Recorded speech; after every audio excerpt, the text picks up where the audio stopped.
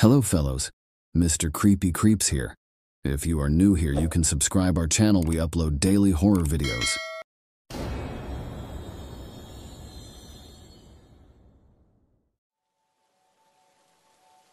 The sly grin of the pale face shone in the moonlight. The man held out his thumb on the side of the road, a thumb that seemed unnaturally long and pointed. His skin looked as white as a sheet of paper, and his grin spread from ear to ear. His eyes watched me passing like two dark oil spots shining under the street lamp. I did not pull over. I didn't even talk to the man. But it would happen again. Everything had gone strange. That day back in 2019 had seemed normal enough. I had gone to work, doing a night shift at the warehouse. They paid me decent, $24 an hour, so commuting 30 minutes each way didn't bother me. I certainly had no higher paying warehouse jobs in my town, a town where huge stretches of forest took over most of the land. At 2:25 a.m., I left work, driving home the same country roads I had used thousands of times before. It was a straight shot to my town, a winding paved road that passed by countless corn and tobacco fields, the smell of manure permeating the air and wafting in through the vents. I had burned the air freshener slightly, as I always did, releasing a nice vanilla smell inside the car that sent the reeking odor of old fertilizer away. But by 2:50 a.m., I realized something seemed off. First, I should have reached houses by now, but the road just kept going forwards, totally dark, the fields stretching off to the horizon in every direction. Eventually, I realized I was going in a circle. I saw the same massive dead tree on the right, its bare branches reaching up into the cloudless sky. I considered turning around and trying to go back the way I came, but I knew I had to be on the right road. So I kept going forwards, and after a few minutes, I saw the hitchhiker for the first time. His skin looked totally white and bloodless, thin and papery as it stretched across his strangely inhuman face. His grin seemed to stretch from ear to ear, and I saw his long, twisted thumb extended when I passed. Like hell, I'm picking him up, I said to myself, turning on the radio. But I checked the rearview mirror a few times, my heart seeming to beat too fast in my chest when I did, and I saw him staring in my direction, still smiling broadly. His limbs seemed thin and twisted, too long, the joints bending in ways and areas that a human limb shouldn't normally go. He wore a plain khaki shirt and khaki pants. I didn't realize it at the time, but that was the uniform for jails and prisons in the area, at least for lower security inmates who didn't require the bright red or orange jumpsuits of potential escapees or those suspected or convicted of extreme crimes. The streetlights flickered as I looked back, strobing quickly, casting the silhouette of the man in an eerie light. With every strobe, I saw his face transforming, the smile fading into a scowl of pure hatred and insanity. I drove faster, trying to get away. Five minutes later, I saw him again in front of my car, the road went straight, but somehow he had gotten ahead of me again. The lights flickered faster all around the road, and his smile had returned, though looking even more menacing than before.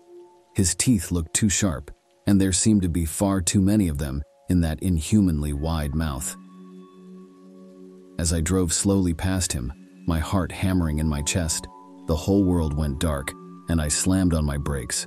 The lights on my car had just cut out as well as the streetlights, and the ambient light from the stars and moon was non existent under the thick black clouds covering the sky to the horizon. I heard light footsteps against the pavement of the road.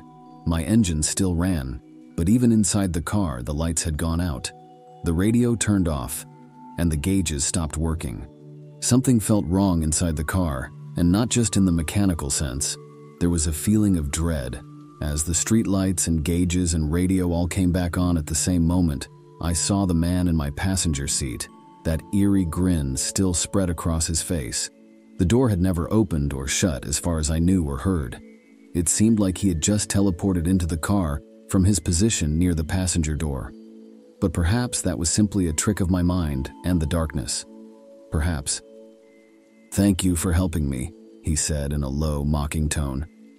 You don't know how many people just drive past and refuse to help their fellow human beings in a time of trouble. What do you want? I asked in a low voice, whispering the words. I wished I had a knife or a can of mace or something that would give me an edge. I felt naked. I just need a ride to the next exit, my friend, he said. This isn't a highway, I said. There are no exits. It's just a random country road, and I'm not even sure I know where I am. I don't know how that's possible, seeing as I take this way home every day, but there are exits when we need them in life, he said, and I need one now. Go forwards, and when you see the exit to Rusty Township, take it. I'll let you go if you do. I'll let you live, but otherwise. He turned to me, grinning again. Looking at his sly and human face, hearing his words, a fragment of an old poem by Robert Browning. I first heard in college came to me. My first thought was he lied in every word, that hoary cripple with malicious eye. Askance to watch the working of his lie, on mine and mouth scarce able to afford. Suppression of the glee that pursed and scored, its edge at one more victim gained thereby. What else should he be set for with his staff? What save to waylay with his lies and snare all travelers who might find him posted there and, and ask the road? I guessed what skull-like laugh would break, what crutch gin write my epitaph for pastime in the dusty thoroughfare. Looking into those eyes, I felt that this poem had been written about this exact man. I drove forwards and the man reached into his pocket. I tensed, expecting a knife or a gun, but he brought out a little pouch. What's that? I asked nervously, looking over. To my surprise, an exit sign had shown up a few hundred feet ahead.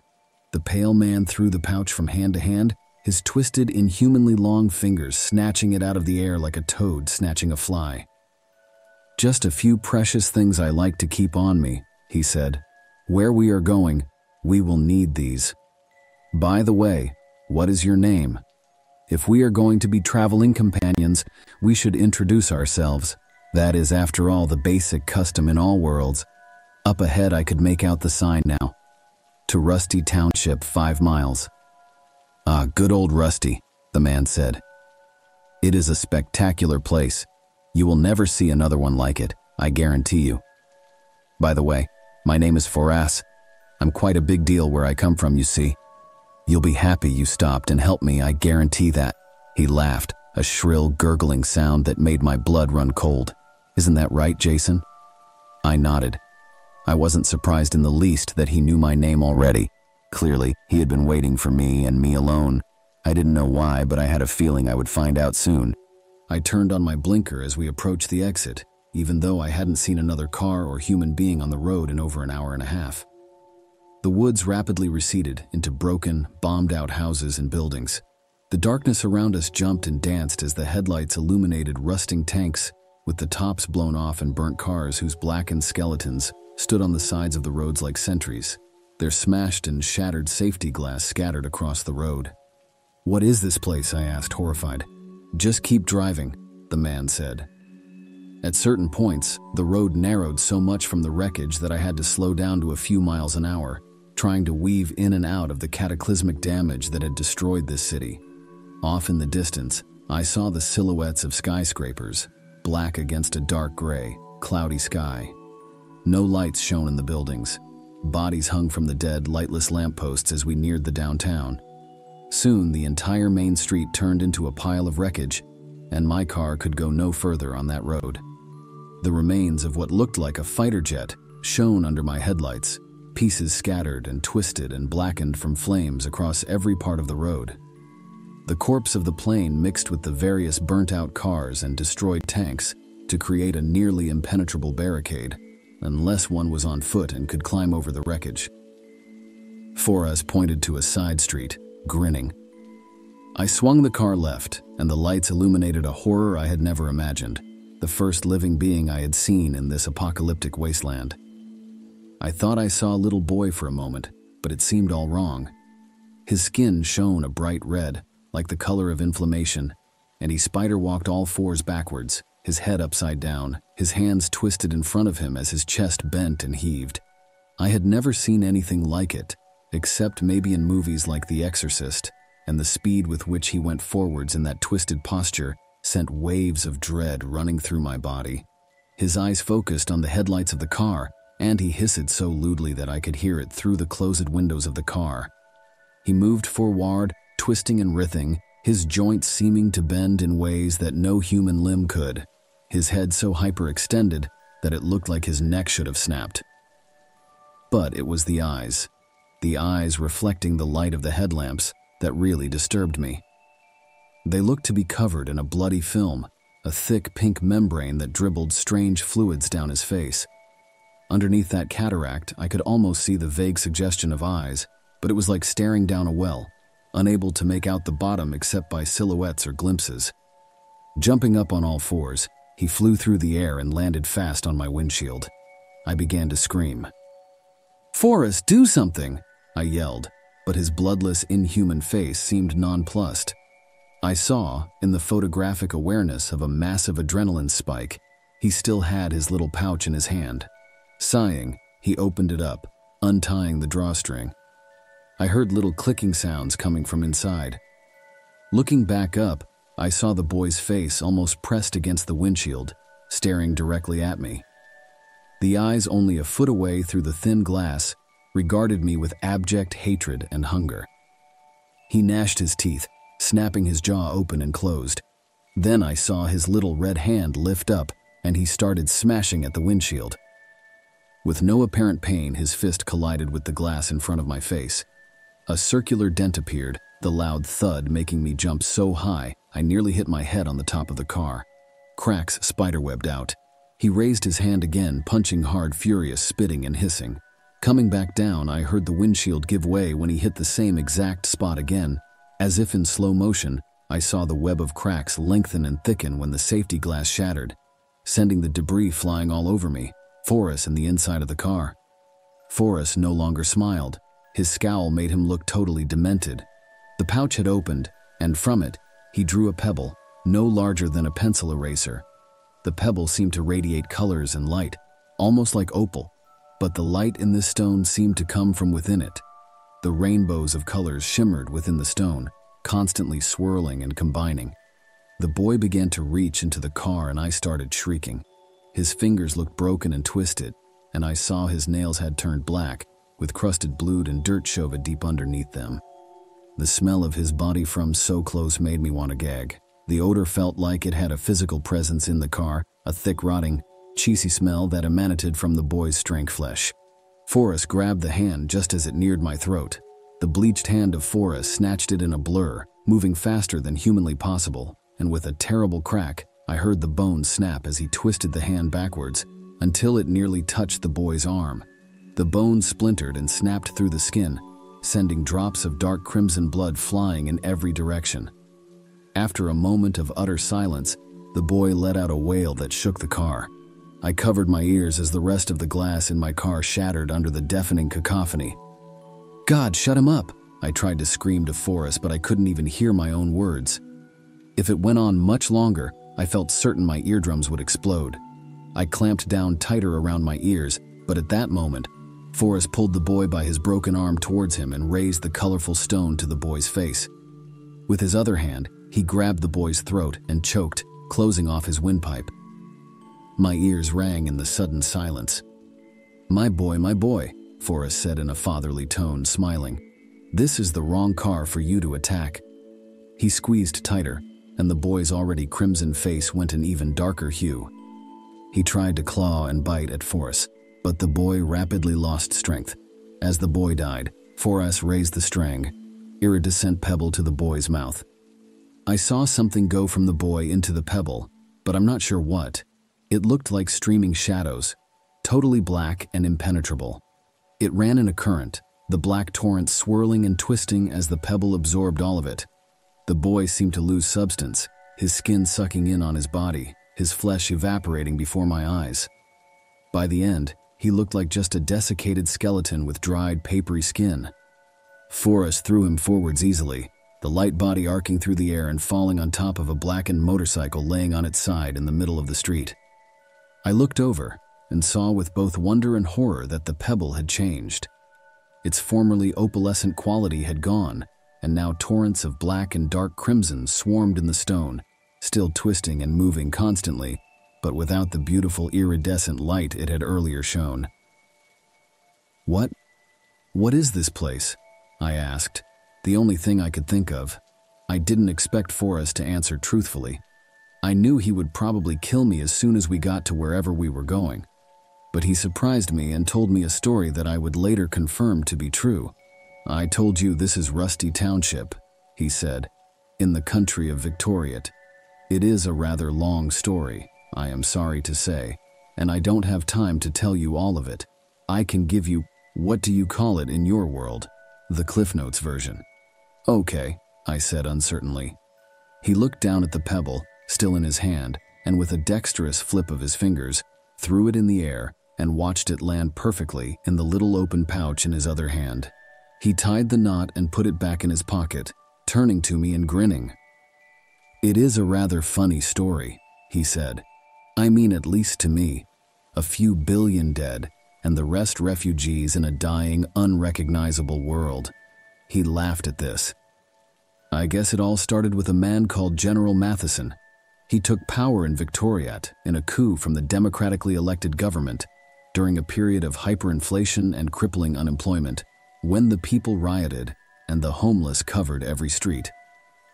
The citizens of Victoria supported him, by and large, because the conditions seemed so terrible that they thought it couldn't possibly get any worse. Ironic in a way, isn't it?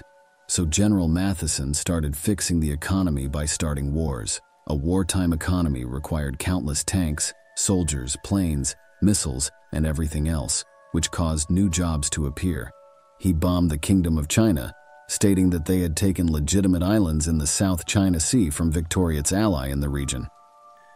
Meanwhile, back at home, he also began recruiting men for the running of camps and the rounding up and murder of all undesirables. He began with drug addicts and alcoholics, homeless people, the insane, criminals, and whoever else seemed unfit for his great new country. The men called themselves the Iron Servants. They would drag people off the streets and take them away, never to be seen again. In reality, the iron servants would put them in a cell or transport bus and give them all water to drink, water laced with high doses of carfentanil and etorphine, which are both tasteless and extremely lethal. Afterwards, they'd just burn the bodies in open air pits. By this method, they killed tens of millions of people, and the economy was absolutely roaring. Everyone was happy, everyone had jobs, and all the problems seemed to have disappeared overnight. A true success, right? A happy ending. Well, not exactly. It turns out the Kingdom of China had developed a strange new bomb. Not a nuclear one, but one that used antimatter as the explosive material. It had a far stronger yield than any hydrogen bomb ever developed, or so they predicted. But antimatter was so expensive and hard to produce that they had no trial runs. They took the first bomb and dropped it over Victoria's center, near the city of Rusty Township, where we are now. The antimatter ignited when it hit the surface and was released from its containment, and there was an explosion, a massive crater that went deep into the ground. A black mushroom cloud went high into the clouds, and the ground shook. But when the smoke had cleared, it seemed the antimatter bomb hadn't had nearly as much yield as projected. Most of the city still stood, but that crater, that crater had strange things within it, as the people soon found out. Very strange things indeed. They began to crawl and swarm out of the hole, as if a tunnel to another world had been opened. And perhaps it had. There's no perhaps about it, I thought to myself, as I put the destroyed car in drive and went forwards into a dead city. Desperate, I watched Foras out of the corner of my eye. He seemed to watch me in return, though his eyes constantly flicked back to the road. I saw the headlights reflecting off strange eyes in the alleyways and buildings, but whenever I turned to look, only the shadows remained. I had my seatbelt on and Foras didn't. He must have felt confident in his abilities and unconcerned with a car crash. I knew he had power, and I quickly formulated a suicidal plan. I accelerated the car. Ahead of us, I saw a light pole with a long dead, desiccated corpse hanging from a fraying noose. I tried to line up the passenger side of the car directly with the metal pole. Holding my breath, I closed my eyes as the car closed the last few feet, still accelerating, engine roaring. I couldn't have been going more than 40 miles an hour, but it sent Foras flying through the shattered windshield. The driver's side airbag deployed, smashing me in the face so hard I saw stars. I felt blood gushing from my nose, and the world seemed to go dark for a few seconds. The engine hissed, spitting coolant and transmission fluid in great steaming gouts that puddled under the car. After regaining my senses, I looked up to see Foras. He lay on the hood of the car, moaning and moving his hands in random circles. Blood streamed from a deep gash on his skull and covered his inhuman face. He wasn't smiling anymore. Stumbling, my fingers trembling, I undid the seatbelt and opened the driver's door, falling on the cracked pavement below. I breathed hard, then with a sudden burst of will, I pushed myself up. Foras still grunted incomprehensible sounds, apparently unaware of where he was. I heard him repeating the same nonsense over and over. Enung, enung, ah, ma, he said, clenching and unclenching his twisted fingers. I thought of just choking him then and there, while he was seemingly weak and defenseless. But I didn't know how defenseless he actually was, even in this weakened state. Moreover, I had no idea how to get back to my world, and killing the only being who I felt sure knew the way might backfire spectacularly, dooming me here for the rest of my life.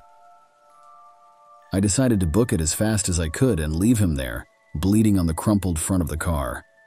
I started walking fast, stumbling slightly as a sharp pain ran up my leg. When I felt I had mostly regained my balance after the crash, I started jogging away. Looking back towards the car, I saw him getting up slowly.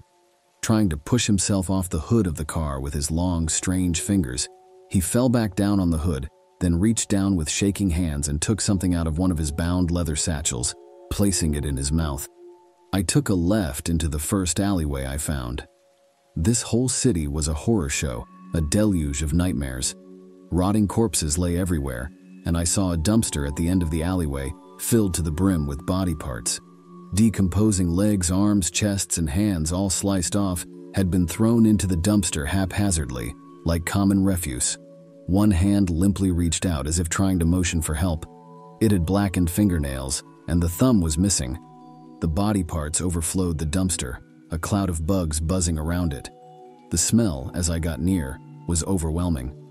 I gagged, moving to the other side of the alley, trying to put as much distance between myself and that dumpster as humanly possible. It was an odor like rotting tomatoes, mixed with feces and rancid meat. But before I left that city, I would see and smell much more like it. I took random turns left and right through the streets and alleyways, trying to put as much distance as possible between myself and Foras. Paranoid, I kept hearing imaginary footsteps, but it was always just the echo of my own. In one alleyway, I saw what looked like a mutated raccoon standing at the far end. It was the size of a German shepherd, with huge tumors and fibroid growths all over its body. I saw a fifth paw hanging down underneath its stomach, boneless and stunted. It gnawed on the corpse of an old woman that had long since desiccated, chewing open her bones and trying to suck out the marrow with its twisted, stained teeth. The raccoon didn't notice me, or the strange silhouette slowly sneaking up behind it. As soon as I saw movement, I quickly looked around and saw a stainless steel garbage can with dark, thick fluid that dripped down the exterior. When I hurriedly peered down, part of me expecting to see Foras's inhuman, grinning face in there, I found something nearly as horrible. I saw the garbage can was filled with rotting dogs and cats, piled one on top of another like cordwood. For a moment, I was so horrified that I almost forgot what I was doing. Then my brain screamed at me to move, to hide, and I lunged to the side, hoping the man on the far end of the alleyway hadn't seen me. I held my breath, trying not to inhale the overwhelmingly rancid stench that radiated from the can. Decomposing animals smell different from rotting human corpses, as anyone with experience in both can attest to. Rotting corpses always had more of a rotten tomato smell combined with a sewage smell, compared to the musky odor that mixed in with the putrefying meat of a dead animal. Both were absolutely horrible, some of the worst smells I had ever experienced. At first, I thought it was some sort of deformed monster, with irregular growths and fibroid tissue standing out all over its body. Then I saw it was just a man, some sort of mutant or victim of a genetic disorder or radioactivity. Or maybe something even worse. He had a bat with nails sticking out of it, and before the mutated raccoon could turn its head, he had whipped the far end of the bat into the top of its skull. the raccoon crumbled to the ground with a soft exhalation of air. My first instinct was to run, but something in the man's demeanor made me think he wasn't the monster I at first believed. He walked in a childish way and talked to himself. I could hear the sad words he muttered in a low voice, echoing off the brick walls of the alleyway. More raccoon, he said. I'm so sick of eating raccoon alone every night. I wish I could find some more jerky. Remember when we found that big stash of beef jerky in the bunker? I shouldn't have eaten it all so fast. Dumb Frankie, never thinking about the future. He whacked himself hard on the side of his deformed head. Hello, I called out, overriding my better judgment. I had few options, trapped in this strange, dead city in another world. The man, who had just started dragging the raccoon corpse away by the scruff of its neck, immediately froze, his face a comical mask of confusion. He didn't seem scared at all, but now he noticed me for the first time as I stepped out from behind the garbage can. He looked me up and down. What's a normie like you doing in the city? He asked. I saw one eye had a slanting look, like a fold of skin had partially grown over his eyelid. The other widened comically in surprise as he saw my clothes. You look like the ones who come through the stairway. Never turns out good, I'll tell you. They don't know what they're doing, coming down those stairs. He dropped the raccoon's body and quickly strode over to me, moving much faster than his size would suggest. He put out his huge, scarred hand. I stared at it for a moment, confused. Then I reached out and shook it. I felt his iron grip crush the bones in my hand and tried not to wince. I looked at him closer and realized he looked similar to the Elephant Man, except far more solidly built and mobile. He had the same strange growths emerging from his face and body, however. They didn't hide the bulging muscles underneath. I'm Frankie, he said, smiling, showing his few remaining teeth. I used to live here with my family. He motioned to the destroyed ruins of the city around us. But after the bomb, my mama, she disappeared. I miss her so much.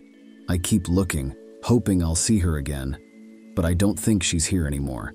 I think I'm all alone now. He looked like he was about to cry. I had no idea what to say. I'm Jason, I said. I'm sorry about your mother, Frankie. Do you know your way around this place? His sad expression evaporated, and he smiled again, the corners of his mouth forming a partial smile, which seemed as far as he could move them. It made me feel sad to watch him. He had a sense of innocence and friendliness that contrasted heavily with the hellish conditions surrounding him. He seemed like he was mentally somewhat slow, but he also had a sense of confidence in his ability to survive in this apocalyptic wasteland, which I admired. Of course. Didn't I say I grew up here? There's a building near here, very strange though. It changes often. The passageways move around, the doors switch places, and it leads down, very deep. I don't go down to the bottom. He shuddered. It's filled with horrible things. I was about to respond when I heard a strange humming noise. It sounded ethereal, almost like a gong or a singing bowl, and yet the sound also seemed to get into my bones and made my eyes water. Even now, a few years later, my eyes water just thinking about it. It was one of the most jarring and horrendous sounds I've ever heard. Frankie's eyes widened in horror. He dropped the raccoon and grabbed me by the arm. He ran towards the street. As soon as we came out on the street, my breath caught in my throat. One of the largest buildings I had ever seen stood there, the color of polished silver. I saw windows spiraling around the exterior of it, like the stairs on a lighthouse. Looking up, I couldn't even see the top of it. It seemed to simply fade into the dirty gray clouds above our heads. No time to look now. Frankie whispered, a tone of urgency in his voice. Come on. He pulled me forward to the other side of the huge street, across 12 lanes of cracked concrete and rubble. He ran into the shattered glass doors of the massive skyscraper. I heard shards of glass and rusted nails cracking underneath my steel toed shoes, and I was glad I had come from work and hadn't been wearing sandals. That humming seemed more insistent, higher pitched, and closer. I turned to look quickly and I saw Foras coming out of the alleyway, a look of fury and hatred twisting his bleached white face. His eyes blazed, and he kept snapping his head to the left and right, almost certainly looking for me. As he got closer, the humming grew louder, and I saw him holding the same pebble he had held to the demonic boy's face as he had died. Though tiny, it gave off a strange black light that threw twisting shadows over the rubble and ruined buildings outside. I realized, with horror, that he was using it as some sort of tracking device to find me and very likely kill me. He still had dried blood staining his face, and I saw fresh drops running down his scalp. He ignored them and, like a bloodhound berserk, with the scent of its prey, moved forwards towards me. You need to hide, Frankie said urgently, and he pointed at the corner of the lobby. I saw a hatchway sitting open. The bunker. Let's go. Without any more urging, I sprinted towards it. Frankie went down first and I followed. As I poked my head out, reaching up to grab the hatch, I saw Foras only feet from the shattered glass doors of the skyscraper.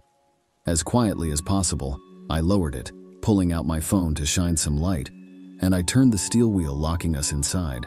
I used the light to catch up with Frankie, who seemed to know the tunnels so well that he could navigate them in the dark. He turned his deformed face towards me, smiling and excited, a childish glee evident from his expression. He won't be getting through that, Frankie said. That's a bomb door. It was built for the big ones, the H bomb and the antimatter one. What is this place? I asked. They call it Sanctuary, he said. There's an entire underground town in here, this is where General Matheson used to run his government from. It goes up 200 stories. How do they build it so big? I shook my head. I don't know, I said. So do people live down here? He frowned at the question, thinking for a long moment. Then his eyes widened. People? he asked. No, no people. Okay, I said, no people, so what does that mean? Well, he said, other things do like to live down here. It's a big place, you know. Even I haven't explored most of it, but sometimes the pigmen get in here, and the snakes. I usually run when the snakes get in here. He shuddered. What kind of snakes? I asked. Like rattlesnakes? His expression stayed stoic for a long moment as he considered the question. Then he began to laugh, a sound like a child amused by a dirty joke. You mean those little ones with the rattle on their tail in the deserts? He said, still chuckling. No, no. I mean snakes usually about my height, and as long as he pointed down to the end of the tunnel, a few hundred feet away. I groaned. Some people also think General Matheson lives under sanctuary, he said, but the tunnels further down run for hundreds of lengths, you know. I didn't know what a length was, but when he explained in his slow, plodding way, I figured out it meant about half a mile. Or so I guessed, anyway. Why would General Matheson live down here? I said, genuinely curious now. The story Foras had told me had intrigued me. It reminded me of certain events that had occurred on Earth, my Earth, though nothing nearly as catastrophic as this.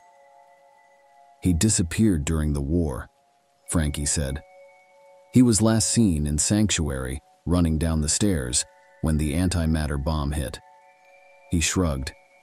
The true believers still think General Matheson is down here, waiting to come back and lead everyone into glory and power. He gave a low laugh. The Iron Servants have looked, though, and they haven't seen a bit of him. I think he's dead. I think he's been dead. But some people will never believe that. I wondered if he was right when the ground started to shake. I thought an earthquake had started, but Frankie's horror seemed to suggest much more than that. The snakes, he whispered, his eyes haunted. Frankie began running down the tunnel. I stayed close on his heels as the reverberations increased in intensity and speed until I could barely keep my footing.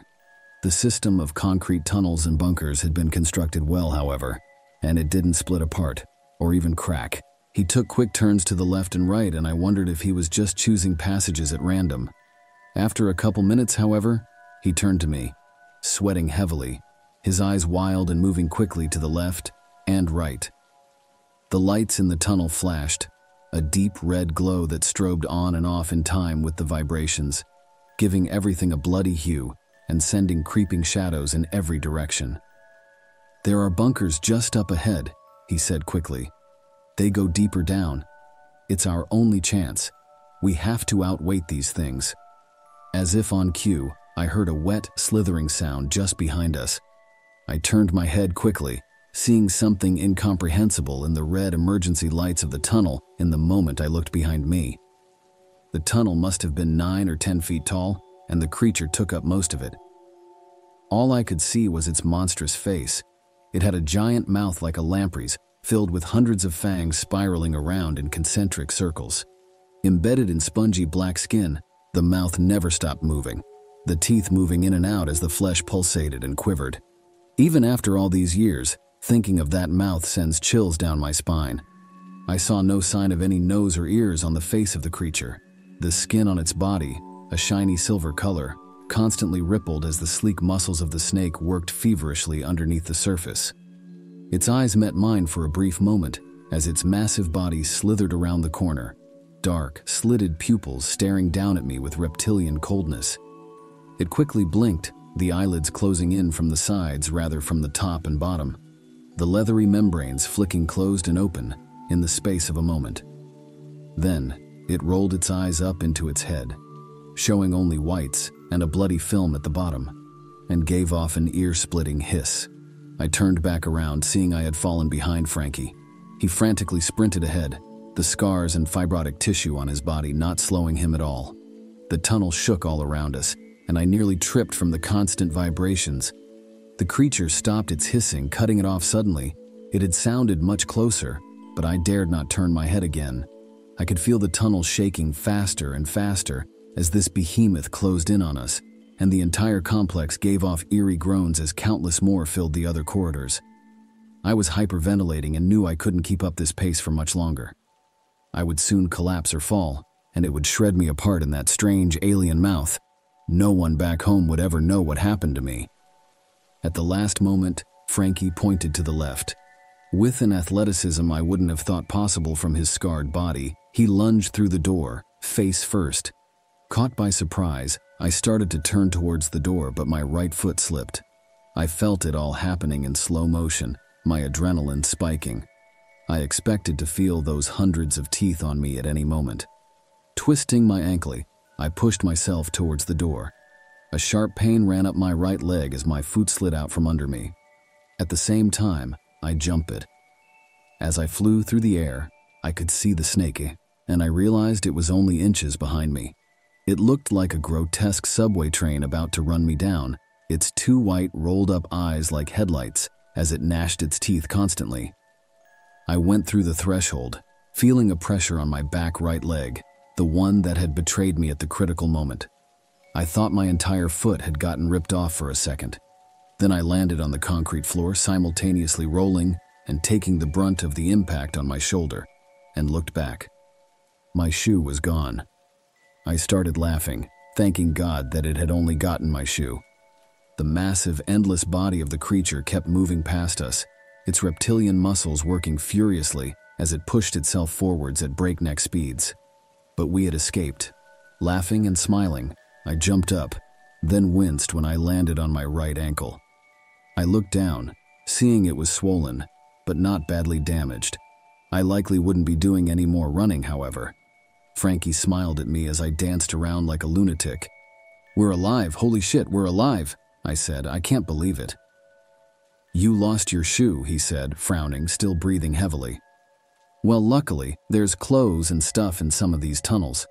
They were supposed to be for the people in the city in case the enemy used the H-bombs on us, but none of them ever got a chance. By the time the antimatter bomb had finished going off, the city got filled with things like that. He pointed at the snake, whose massive body still hadn't finished passing. I wondered just how massive it was. I shuddered slightly, thinking of hundreds of those things moving around the tunnels. So, where do these bunkers lead? I asked. He didn't meet my eyes. Horrible things lay at the bottom, he said. I've never gone down to the deepest level. It leads to the pit of the skull. No one who has ever gone down has come back. The pit of the skull? I asked, raising an eyebrow. Who makes these terms up? He shrugged. The Iron Servants used to go down and try to clear things up after the bomb, he said. Most of them died. Then the government started recruiting teenagers into the Iron Servants. Most of them died, but they did manage to explore the places first. They put it on TV during the collapse showing This is what the Kingdom of China has done to you, and trying to rouse the population towards war. But the war was already over. We ended up giving them the H bomb, and they gave us this. He motioned around us. So, what happened to the ones who didn't die? I asked. Are they still around here? Frankie didn't look comfortable with the subject. Well, he said, looking like he wanted to try to find a way around the question. Then he sighed. I guess you could say they were changed. Changed? I asked. Like what? You mean like mentally, like they had trauma? He laughed at that, doubling over. Mentally? He asked. Trauma? No, no, nothing like that. He wiped a tear from his eye. If it was something like that, who would care? Not me.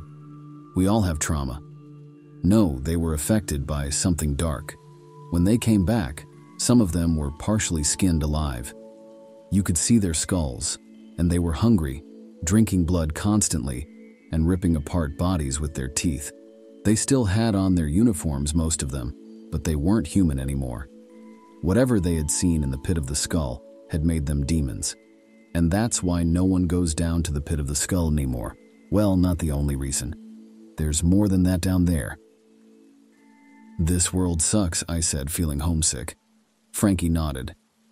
Yeah, it does, he said, lowering his head sadly, his scarred, fibrotic shoulders slumping.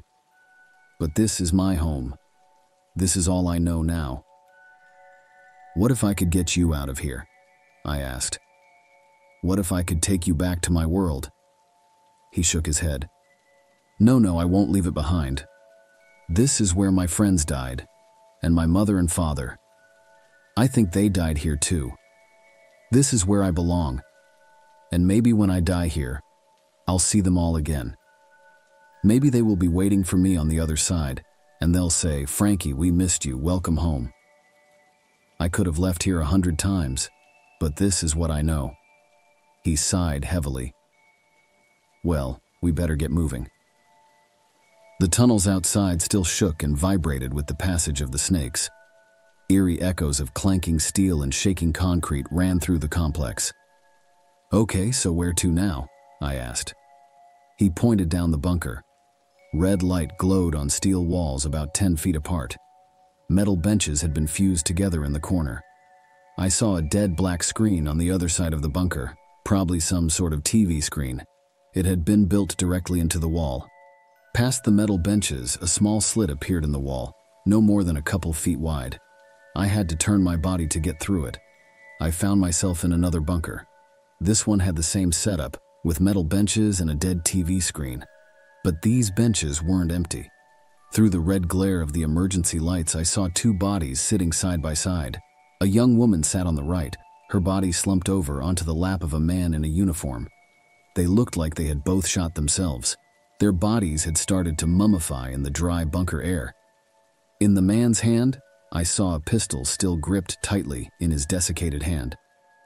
Beneath the young woman's open, filmy eyes, I saw another pistol on the ground, one that she had likely dropped after the final moment.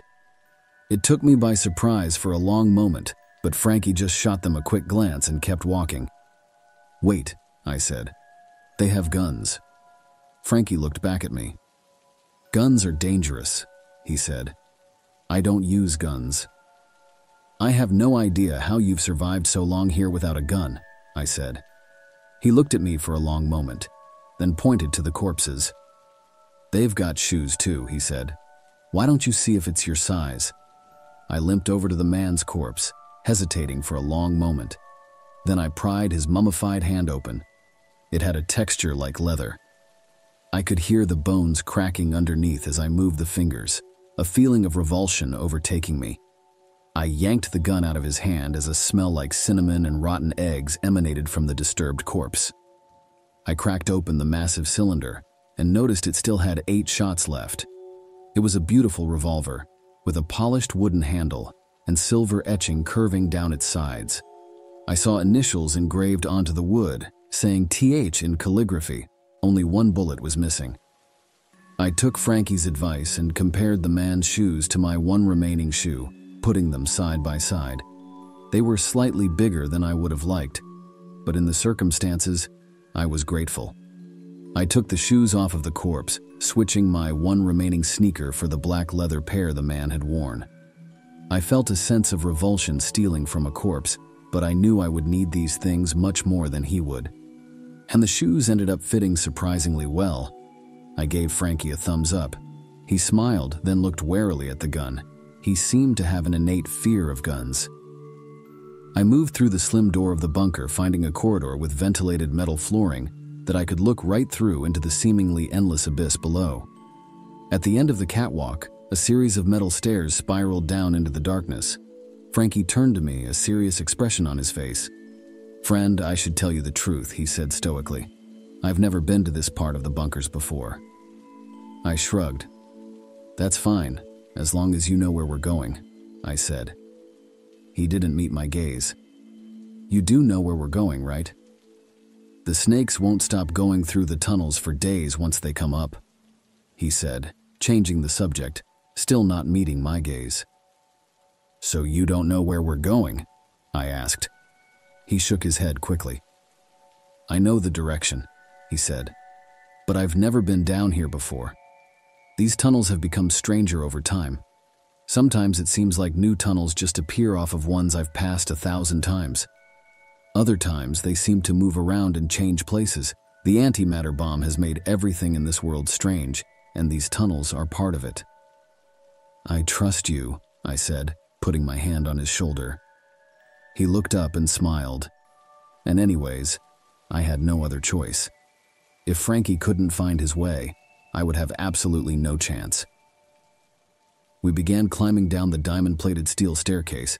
The stairs seemed to go on for eternity. I looked down, realizing I could see right through the vents in each step. My stomach seemed to drop. I saw one red emergency light after another descending into the shaft, but no sign of a bottom. They seemed to just draw closer and closer together until they disappeared into the darkness. Frankie didn't know how far down the stairs went, and he seemed somewhat anxious as well. I tried talking to break the tension, but my voice echoed up and down through the shaft with every word and I began to feel the noise might wake up something. I quickly stopped trying to make conversation. After what must have been an hour of descending, the air started to change all around us. It grew warmer, and a red glow began to emanate from far down below us. It looked like fire, giving off flickering hues of crimson orange and yellow. Then Frankie gave a shout of triumph, pointing. A dozen stories below us, I saw a catwalk extending from the staircase fused to the far wall. A dark doorway stood there, the only break visible in the endless metal wall. You found a way out, I said excitedly. Where does it lead? He stopped celebrating suddenly and gave me a half smile. We'll see when we get there, won't we? When we got there, we found a heavy bunker door. I turned the wheel, which looked like one from a submarine door. It silently slid open. Behind it, I saw white lights shining from the corridors. After being in the dark with only red emergency lights for so long, it felt like staring into the sun. I squinted, blinking fast, spots dancing across my eyes. They quickly adjusted to the fluorescent lights illuminating the hallway, however. Underneath the glaring light, I saw dozens of bodies, a macabre show to welcome us to this new part of hell. They were mostly women and children, and they looked like they had tried to flee towards the door we just came through. Their bodies all faced towards the door, some of them still reaching out their pale, bloody hands towards it. Many had their throats ripped out, as if by packs of coyotes, while others had portions of their stomachs and chests chewed open, revealing the organs and intestines underneath. Puddles of blood saturated the floor, and black clouds of flies zipped around the hallway, feasting on the corpses. These bodies looked much fresher than the ones in the bunker. Uh, Frankie? I said. Just ignore them, he said after a long pause at the doorway. There's a lot more bodies here than that. Bodies won't hurt us. But what did this? I asked. Who did this? If you're lucky, he responded, you won't ever find out. As if in response to his words, the lights flickered and a deep, distorted laugh began to echo from farther down the hallway.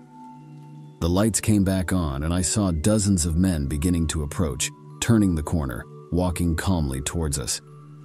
It looked like some had been skinned alive, at least from the neck up. Their skulls grinned at us, a mass of blood and gore. Their lidless eyes stared ahead without blinking, and a green light seemed to spiral out from their pupils.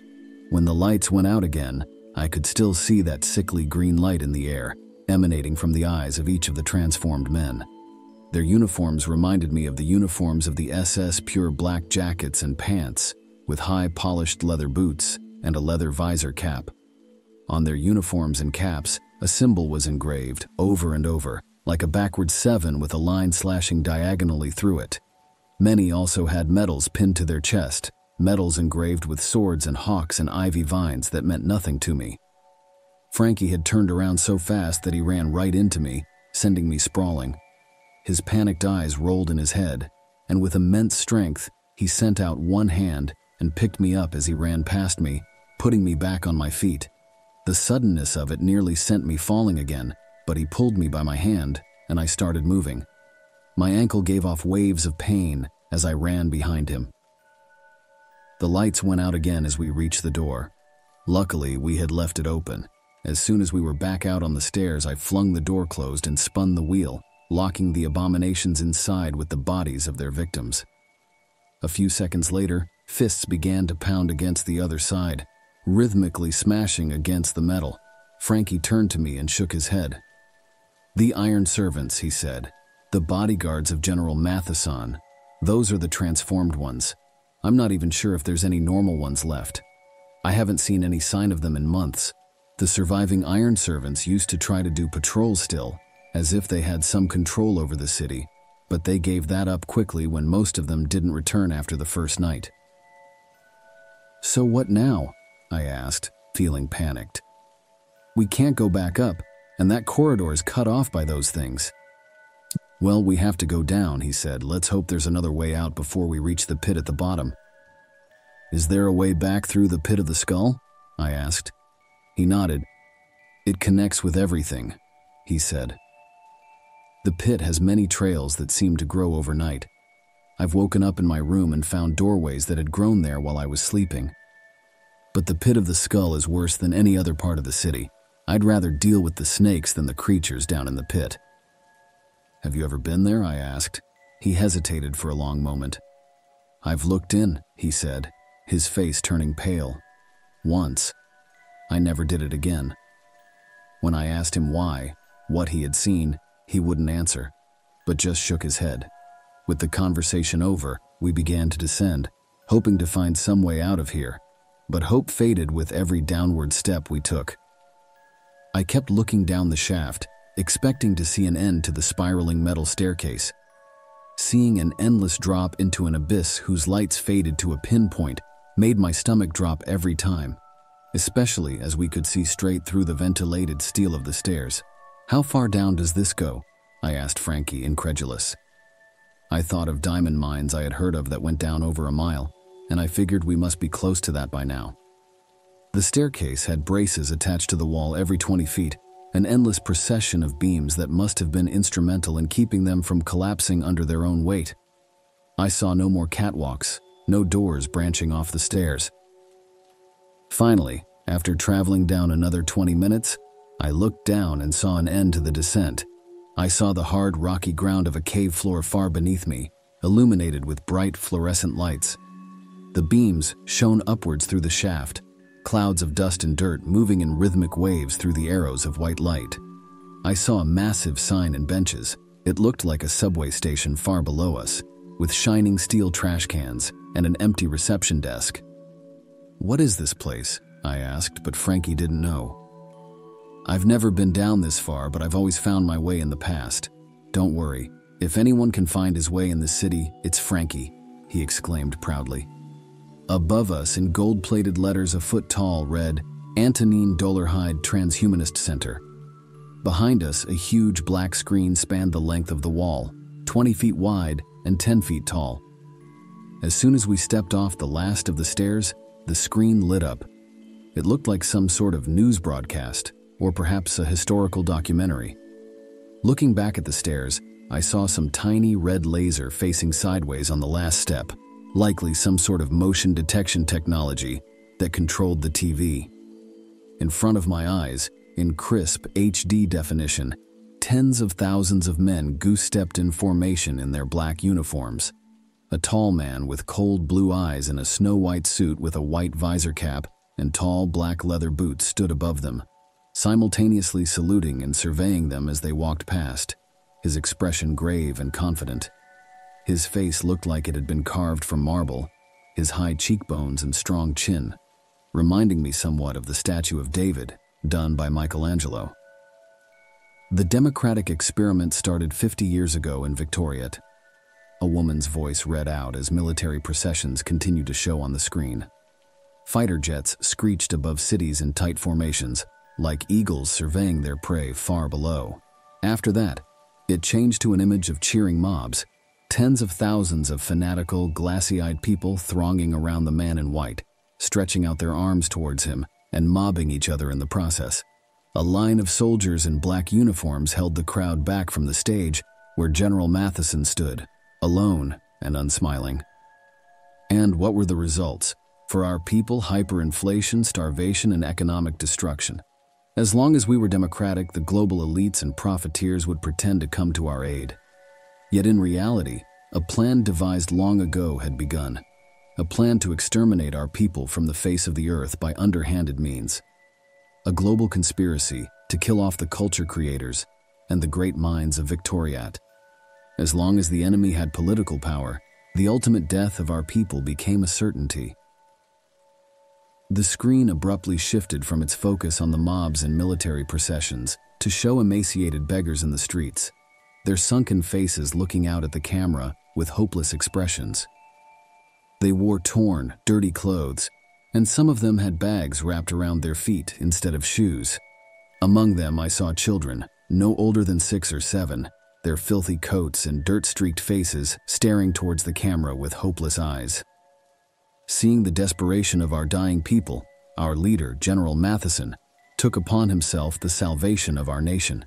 The national revolution had begun, and in time, the screen changed from the charismatic movements of the leader in white on a massive stage into a blur of static and colors. The woman's voice became robotic and stretched out. In time, in team. And then the screen went totally black. I had the feeling of eyes on my back. I turned to Frankie, who looked as white as a sheet, his eyes wide and horrified. But he wasn't looking at the TV. He looked behind us, at the spiraling staircase, trembling and staring blankly around. Green light began to stream down the stairs, the same sickly green light I had seen coming from the eyes of the soldiers, the ones whose faces had been ripped off in some grisly experiment I couldn't imagine. I knew seeing that light couldn't mean anything good. And then the TV came back on, starting over at the beginning of the same segment, the woman's voice sounding far too loud, blaring out her strange propaganda. The voice echoed eerily in the great silent chamber, waves of sound overlapping and fading, turning into a nearly incomprehensible mishmash of sounds. The democratic experiment, she parroted behind us as Frankie grabbed me by the arm and drew me forwards. I felt like since I had first crashed the car, this city had been trying to kill me at every turn. I couldn't imagine how anyone could survive in the long term in such conditions. My respect for Frankie grew immensely at that moment, as I realized he had dealt with this for years, until the point it became all he knew. We ran into the Transhumanist Center. Everything looked sparkling new, the metal still shining a bright silver, and the bright red and black walls still undamaged. At every corner, I saw the symbol that the soldiers had been wearing, the backward seven with a line slashing diagonally through it. I looked back at the immense chamber with the stairway, seeing more of those faceless soldiers descending. Where they had come from, I didn't know. I felt we had securely locked the door to the hallway, but there may have been countless more on the surface and roaming the tunnels and bunkers for all I knew. They walked silently in a soldierly fashion, their backs straight and their heads held high, but the skin on their faces had been peeled away.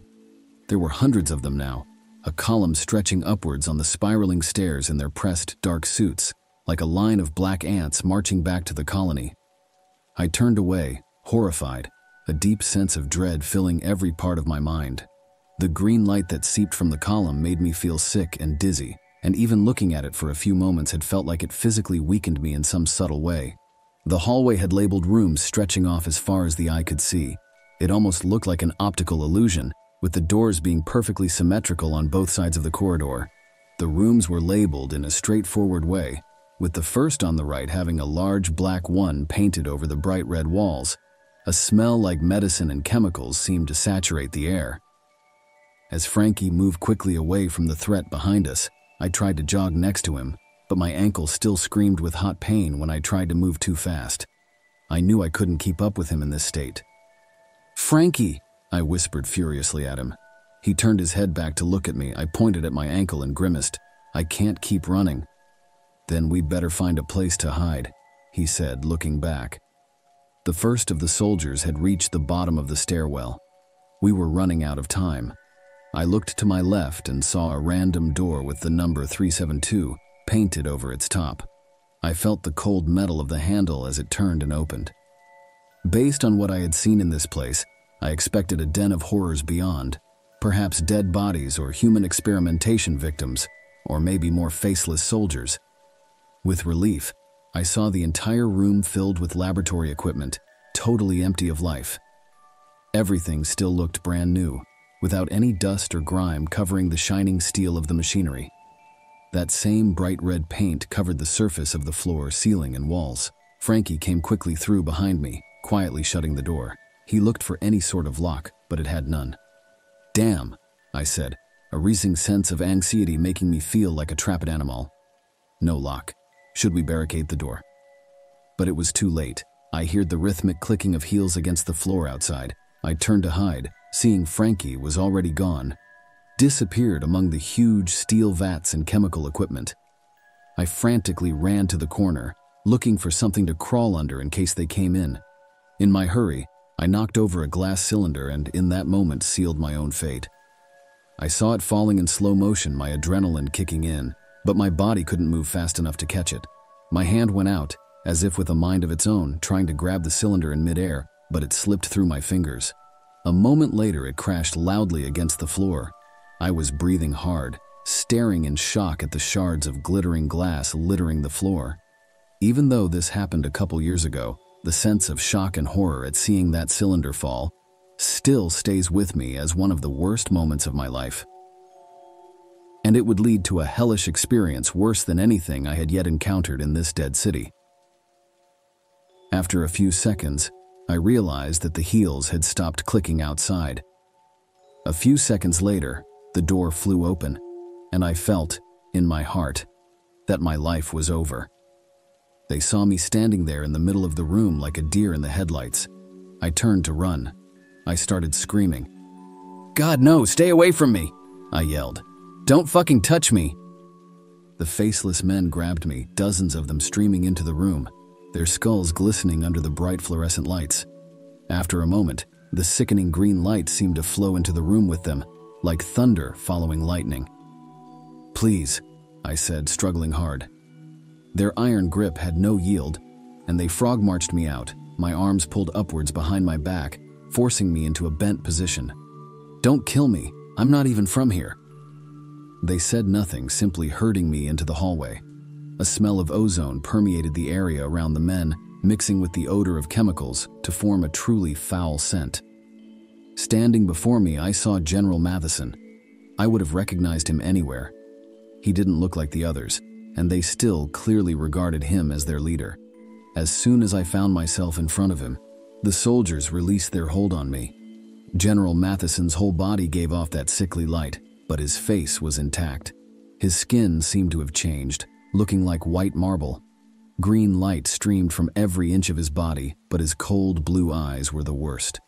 The whites radiated it, and it seemed to stream forwards from his pupils like rushing water. Just looking at him made me feel sick and weak, as if the light were itself, in some way, poisonous. He still had on his pure white soldier's uniform, a black and white visor cap with the symbol of the backward seven with a line slashing through it. In his belt, I saw a revolver, similar to the one I had stolen and now had hidden in my pants. The revolver. I had nearly forgotten about it during the terrifying ordeal of escaping from the city. I looked back, expecting to see Frankie being frog marched out of the room behind me, but there was no sign of him. The last of the soldiers left the room and closed the door. They stood all around me, forming a circle. General Matheson and I occupied the center, two very different men in the middle of countless faceless monsters. What is your name, son?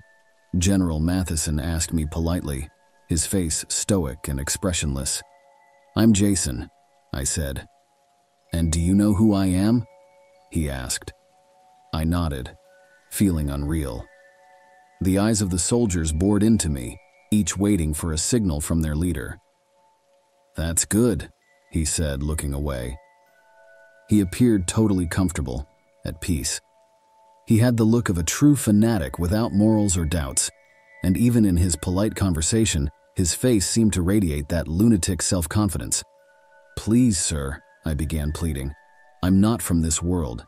I came here because I was kidnapped by some madman, some strange mutated guy who brought me here. I don't belong here, I really don't. General Matheson stopped speaking for a long moment. The entire hallway plunged into silence. He contemplated his words carefully, and for a moment, I could see the great statesman he must have been before his conversion into whatever he was now. He certainly was not a regular human in his current state, no more than for us or the soldiers. We don't always have a choice where we find ourselves, he responded. When I was Prime Minister, the leader of a superpower with the greatest military ever seen, I heard many of the same objections from others, such as when my hometown was carpet bombed by the Kingdom of China, and I went to the ruins. The survivors asked me why this had happened, why their little city was chosen for such a horrifying scene. I knew it had been chosen because my friends and distant family still lived there.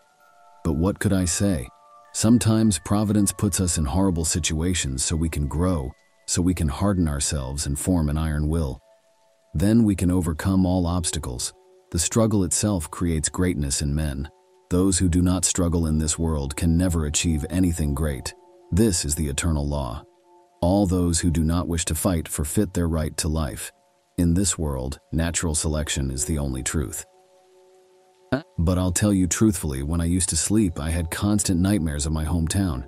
I saw the burnt bodies of children on the sidewalks next to collapsed, blackened ruins of apartment buildings, the children still sticking their arms up towards the sky, as if hoping someone would pull them out of the fire. The odor of smoke and charred wood was so thick that I could smell it before I ever got into the place, from a half mile away with the windows open. In my nightmares, I always found myself with the people I knew, the ones who had died and whose children had burnt alive. We were in the basement of some building, trying to keep the raging fire away, trying to duck down low to avoid the thick black clouds of smoke that billowed through.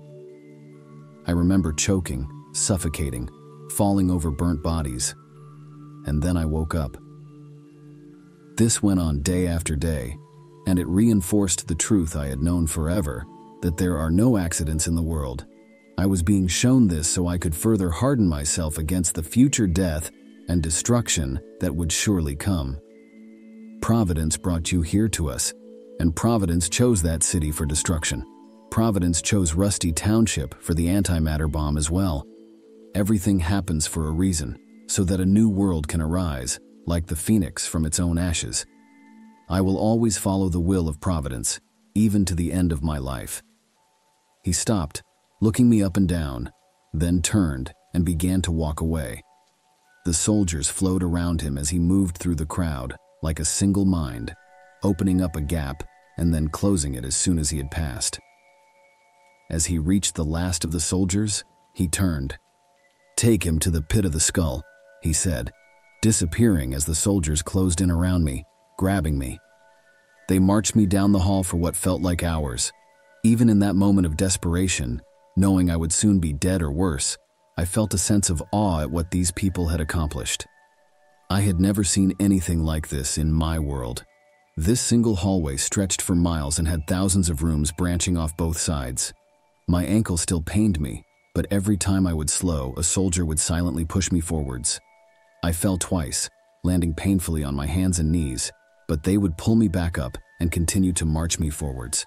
They never seemed to talk, though perhaps that was just an act. I didn't know whether they were capable of speech or whether they were simply mindless drones, following the will of General Matheson or whatever had possessed his body and mind.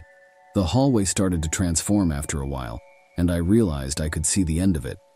A deep, lava-filled crater bubbled far ahead of us. Beyond that, the walls and rooms disappeared into a rocky cave-like chamber. The orderly, symmetrical construction of the hall ended in torn wood, shattered doors, and melted metal when it reached the end. That same sickly light flowed out through the cavern, much stronger and brighter as we continued forwards. I saw stalagmites and stalactites through the light, like teeth in a rotten green mouth, a mouth that would soon swallow me whole. At the front of the transition from hallway to cavern stood General Matheson, grinning now. As soon as he saw me, he came forward. The pit of the skull, he said. This is where the magic happens. He paused for a long moment, looking thoughtful. You know, I used to be a transhumanist, thinking we could change ourselves into higher beings with genetic engineering and computer chips. He sighed at this, his grin fading. What a fool I was. The true transhumanism is here in this chamber with us, and it is a far more monumental discovery towards the evolution of humanity than any implanted microchip. He made a sweeping motion with his hand. Here, we have the cure for death itself. This is where the new world will begin, and you will join me in the struggle. You will become one of my soldiers.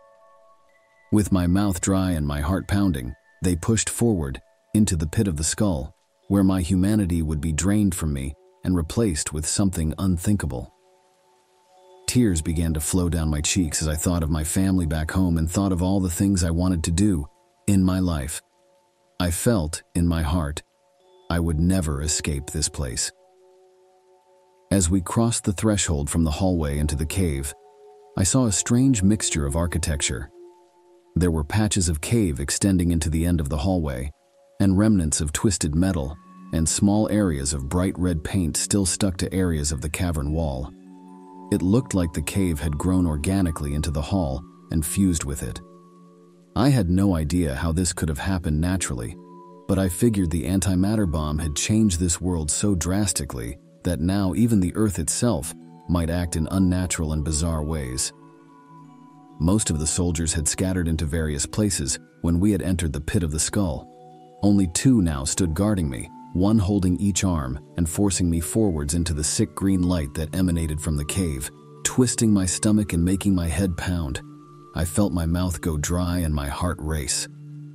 Goosebumps rose on my skin, and I felt myself beginning to tremble uncontrollably my teeth chattering. My hands reminded me of the tremors of an earthquake. General Matheson had gone, receding deeper into the pit of the skull. I wondered if I would see him again. I knew that, if I was transformed, he would become like a god to me. I would become just another mindless soldier in his vast army of abominations. As we went deeper into the cave, I saw that the green light seemed to emanate from the walls, floor, and ceiling of the cave itself. They came in rhythmic waves, strengthening and fading, giving everything a diseased look. The fused, half cavernous setting continued to spread before me as I saw barracks rooms and large halls. I looked over at the first one I passed and saw a massive mess hall. A murmuring susurration seemed to hiss from the mess hall, where hundreds of soldiers in black uniforms sat down to eat. I looked over for a moment as I was dragged past my ankle shrieking in pain as the soldiers kept pressing me on farther towards my doom. With horror, I saw that the faceless, transformed soldiers ate human body parts, raw and sliced up, each on a tin plate. I could see parts of legs and arms, faces with the cheeks and tongues missing, and much more evidence of this brutal and sickening mass cannibalism. From behind a serving window, I saw a pig-like man in a large chef's uniform, his face round and pink, his nose bovine. He snorted and spat constantly as he used a large meat cleaver to slice up more bodies. I saw blood splattering the ceiling and walls behind him as the cleaver thwacked down again and again, splintering bone and slicing through flesh like butter. I felt like I'd entered into the ninth circle of hell itself. How could anyone live in such a place? Who would want to cling to life in such a destroyed world?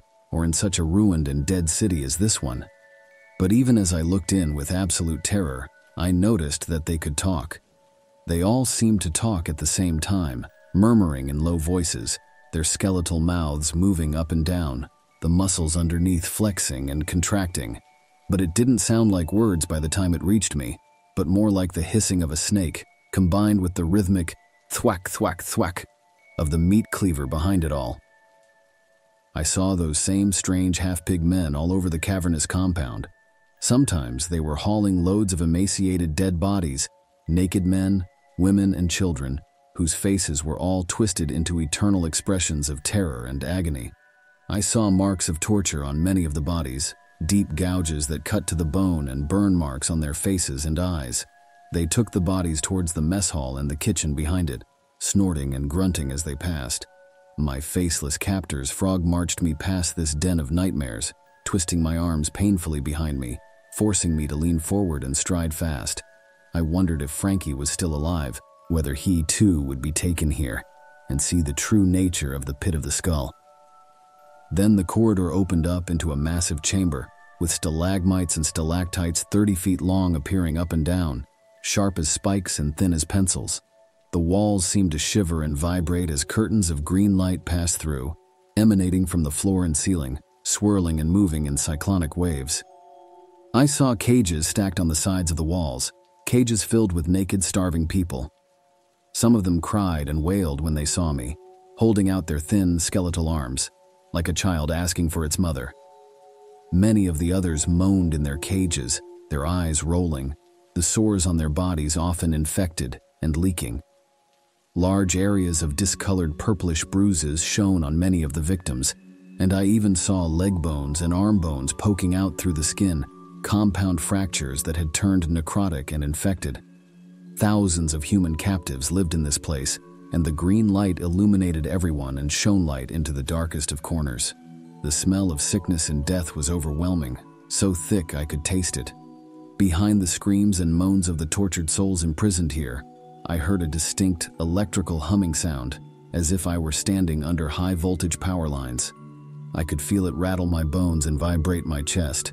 It was a powerful feeling, and it grew stronger as I went deeper into the chamber past the last of the cages. The smell of ozone as we got further in became overwhelming, faint odors of sulfur and mold mixed with it. My senses began to feel overwhelmed, and I wasn't even at the worst of it yet.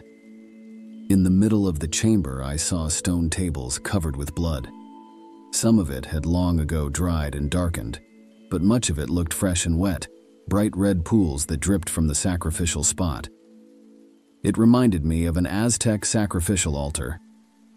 General Matheson stood next to one of the tables, holding a serrated, wicked looking knife.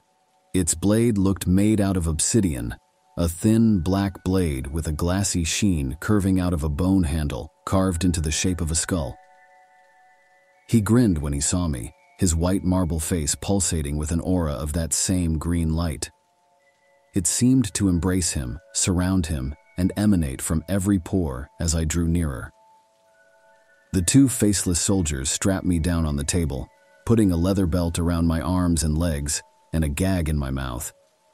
Then General Matheson slowly began to lower the blade down towards my face. This is going to hurt a lot, he said, laughing. But that's part of the becoming. All great men have had great suffering. This is an eternal law. I closed my eyes tightly, waiting for the blade to make contact, to begin skinning me alive, to rip off my face and then begin the transformation into a monstrous soldier who would eat raw human meat and carry out atrocities without a second thought or any sense of emotion. What do you think you're doing? A voice hissed from the edge of the chamber. My eyes flew open and my head turned. I saw Foras standing there, his bleached white skin given a green hue by the supernatural light of the chamber. What business is it of yours, High Priest Foras? General Matheson asked coldly. I brought this one here to this world, he screamed, his voice sounding inhuman and amplified as it echoed through the vast cavern. This is my soul for the taking, not yours. General Matheson looked down at me, his eyes blazing with fury. Is this true? He asked me, did this man bring you here? He is no man, I whispered, still terrified, still expecting the cutting pain of the blade at any second. But yes, he brought me here. That is true. He kidnapped me, and I escaped him. I thought he planned to kill me. Regardless, this is my sector and it is staffed with my troops. I must demand you leave at once, Foras. Do not make me angry. My troops will come at a moment's notice and I will have you executed if you interfere with me. My business is state business, and I am the leader. My will is absolute. You have been swallowing your own bullshit for too long, Foras said, laughing. If you try to attack me, I will kill you and all your troops. I don't need to mutilate bodies to get my power, General Matheson. I am not so weak as that. General Matheson's eyes widened in surprise at the insult. Guards, kill him, he shrieked. Kill him now. I want his head brought to me on a platter. Soldiers in black uniforms rushed in, their bloody skulls grinning under their visor caps.